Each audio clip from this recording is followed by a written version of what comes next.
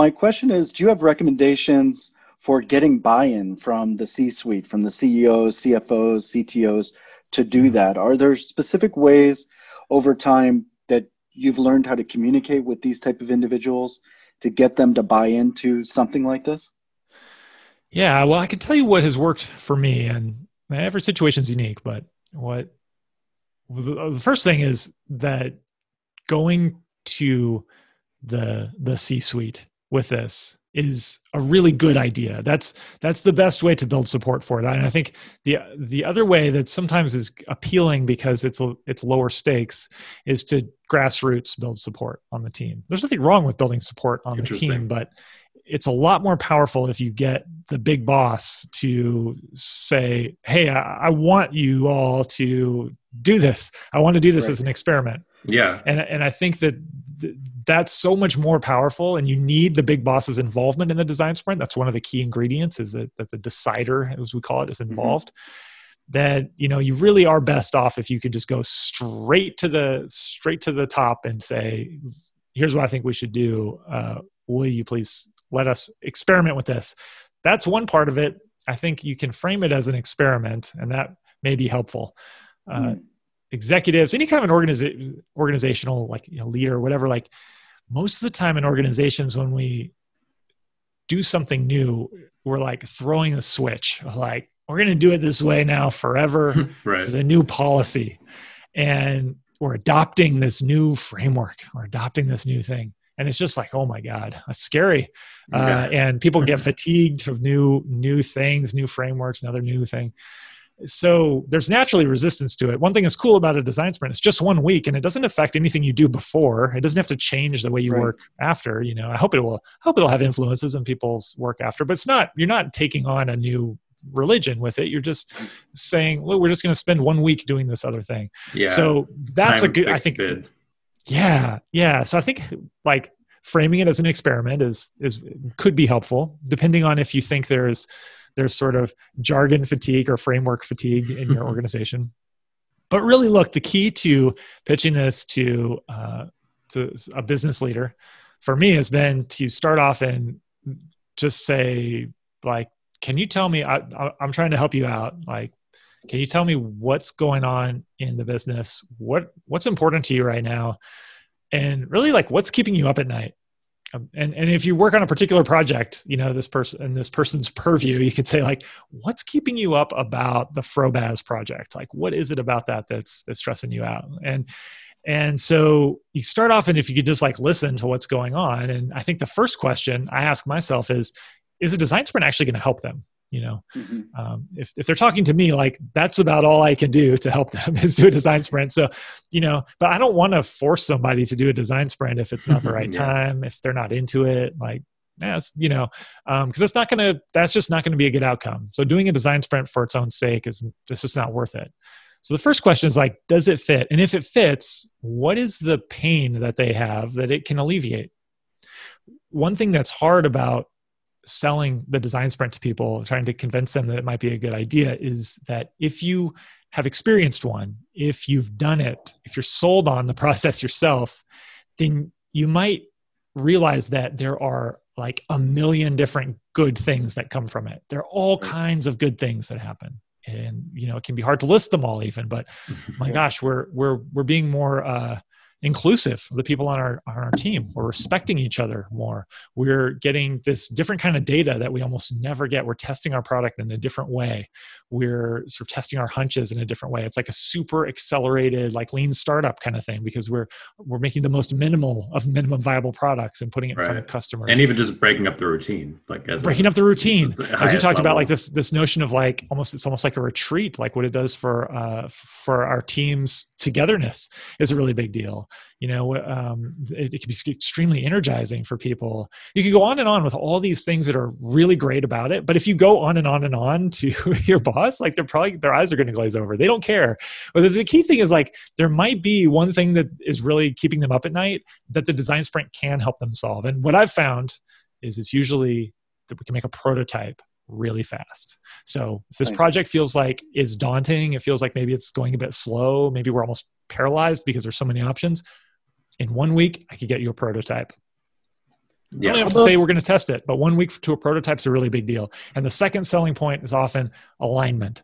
If there's a lot of hmm. different teams who are involved in this, and it's challenging to get everybody rowing in the same direction, mm-hmm. design sprint. You give me a give me a week, I can get people all involved, all starting this together, yeah. so everybody is like feels like they're part of it and yep. and is aligned and we aren't we aren't doing politics for months yeah i like the way you framed that it's like because i think just in general with kind of persuasion with humans it's like sometimes the laundry list approach of just here's like a thousand things that yeah. it's great at is good maybe you're looking at a book right you can laundry list a thousand things and yeah. it keeps the reader reading but then yeah if you're just trying to convince one person who maybe is busy or something it's like all right just give the best two most persuasive things kind of yeah yeah yeah and it, I didn't come to that because I'm so good at persuading people, but just because that's the only thing people seem to care about is yeah. the prototype or the alignment. And they they will understand the rest when they experience it, but they're never nobody's ever going to want to do a design sprint because they're really dying to do more customer research. you know, that's not, that's just not going to do it. And nobody's going to do it because you could say like, finally, uh, a recipe where we can you know have more efficient uh, inc- inclusive conversations that involve everybody on the team like they're just that is probably not going to get people to say yeah let's stop what we're doing for a week that that's expensive and hard and sounds crazy. Yeah 100% so so you just got to line it up with what helps them with the business. Yeah how about you bring up the lean startup? How about for smaller groups smaller communities maybe even you know we have college students college students trying to start something out uh, yeah. with a company or a small group. How would you recommend that they could potentially use this? And then uh, to add on to that question too in today's you know world that we're in are there new online ways that you also would recommend or are integrating currently yeah um, well for the first part i mean i think that no matter what kind of a team you're a part of. And in fact, even if you're not part of a team, I, I hear stories uh, pretty regularly of people doing design sprints on their own, you know, right. which is which is hard. It has its own challenges, but um, but if you search for one person design sprint you'll find stories that people have published about how, how they've done it and, and to compartmentalize the decider portion of your brain yes, i guess. right. Multiple right, personalities. Right. multiple personalities right. Um, the hardest part about that about working on your own is like for me being really distractible like i i need the peer pressure of the other people in the room to keep me mm. focused you know and so if you're on your own you you really have to do it yourself. But uh, yeah but you know it doesn't matter if a team is um, if if it's a, a, team in a in a nonprofit if it's a team and uh, i've worked with a team in the government you know if, there what you make for a prototype and how you test it it might look differently if you're if you're doing this at a school and you want to make you know something about the the way your class is run better. You have an idea of a problem you want to solve there the, the prototype and the test may be totally different it may be that we're going to try a new class schedule and we're going to run it for a day and mm-hmm. uh, we're going to you know survey people at the end or interview them um, but the the rest of the format is going to be the same because the design sprint is really just a problem solving framework. We have a big challenge. We're going to lay out what's going on there. That's the map. We're going to come up with competing solutions for it. That's the sketch. We're going to put detail behind those so we know like really how this would work. And we're going to decide which are the best. And we're going to try to figure out how we make this as realistic as possible this week and then and then we put it into action and we see how it goes and if you think of it that way then it's possible i think to apply this to all kinds of situations so so i definitely think it's possible um, second part of your question is about doing this over video remotely and obviously uh, that's the world we live in now and i think it's the world yeah. we will live in forever now because um, you know, I, I, certainly look forward to seeing people in person again and doing these in person, but there's going to be more remote work now, more work that happens over video for sure. Uh, so before COVID, I was really reluctant to do any design sprints over video. There are uh, so many challenges with it, but um, yeah. some of those challenges have lessened uh, greatly. You know, um, people are just more comfortable with video in general. Video has gotten better, and uh, so more people have access to good video at their home for whatever they've had they've either you know had to set it up or the tech has gotten better you know mm-hmm. just generally that side of the equation is better.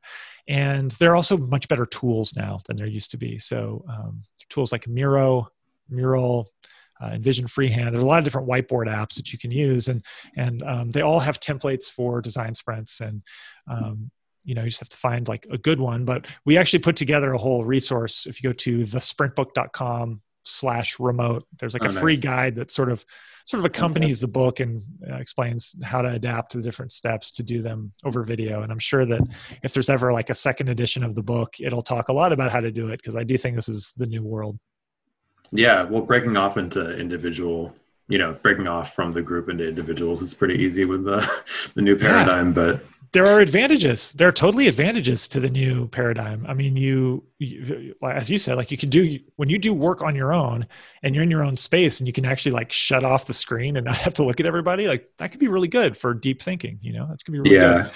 Yeah, we did get uh, a, a wrench thrown into the world with this telepresence thing, but it is cool that it's accelerating it, and who knows what yeah. uh, kind of new tools we'll get soon. Totally. Yeah. And those whiteboards, when the sprint is over, you have this like artifact of the whole thing that right. you can hang on to forever. And that, that's really cool that it's much harder to recreate that from photos of the room and what was, what we wrote on the wall and what we, you know, wrote on paper. You, you already have it collected and organized and that's really cool. And it's also easier to do customer interviews over video. You can recruit people wherever they are, not just the people who are near your office and you can, right you can talk to them in the comfort of their own home where they they may feel more likely to be um, blunt and honest with you than yeah. than when they're they're they're a visitor in your space and yeah. and that's really powerful too because that's what you want